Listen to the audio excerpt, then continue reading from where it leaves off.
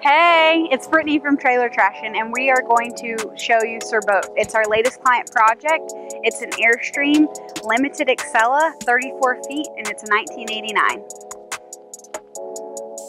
That's my pupper.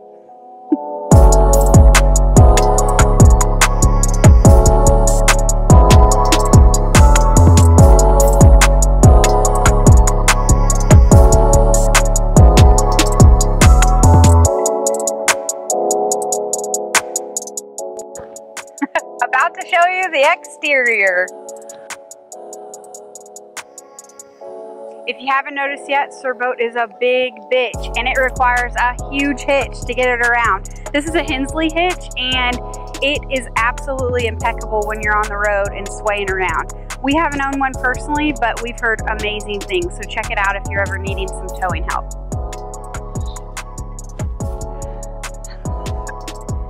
So if you're ever wondering how you stabilize this big of a rig, it is super easy with these electric leg extenders. You turn them on and off here. You can move one, each one individually up at the front. There's no more running around the rig, especially if it's raining or anything like that. So setup is super easy to take down and put up.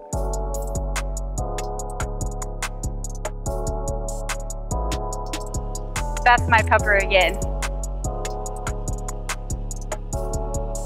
Such a star.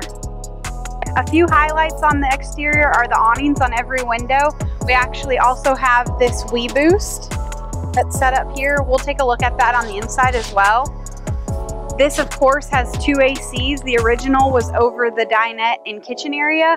We added one over the bed so that you're comfortable while sleeping. That's my pupper. We're all about junking the trunk around here at Trailer Trashin', and Sir Boat is no different. He's got a generator built right in. Airstream seem to have that iconic classic look on the outside, but not one of them looks like this on the inside. Let's check it out.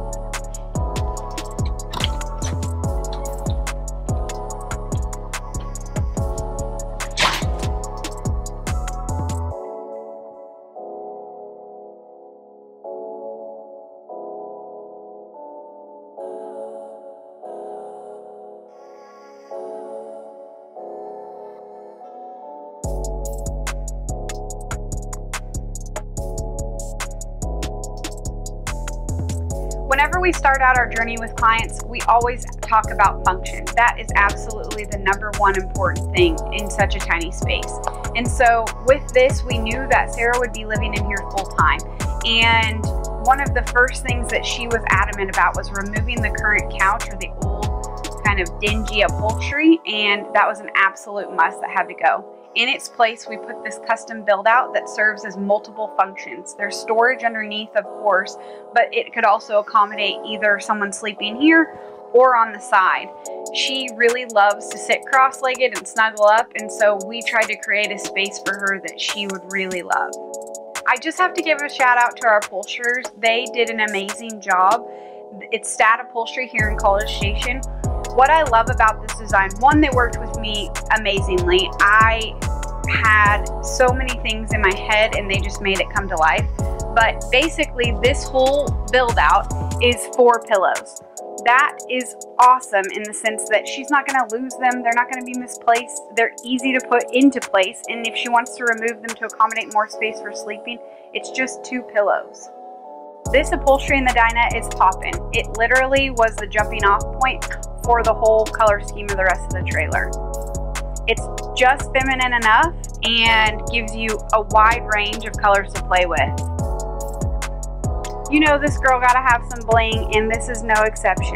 Check out this gold faucet. It's actually really cheap from Home Depot and it mimics a lot of the more expensive faucets you might find. These counters were original and who wouldn't want to keep them? All the elements that we chose played off of them and honestly it makes this awesome gold faucet stand out that much more. This 34 foot allows a girl to wine and dine, so we've got a perfect spot for her to do that or work or be a boss bitch. I'm only saying this because Will wanted me to, but after the beauty, we gotta show you the duty.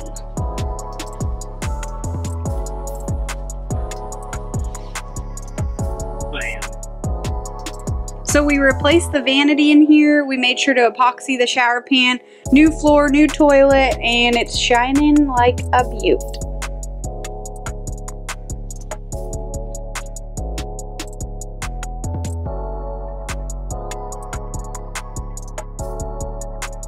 I had to get my partner to show you the bedroom. And a queen deserves a queen. So we did a queen in a kind of a daybed setup to give her more room so it's sideways and we did custom build outs around the side, dropped some electrical in three places.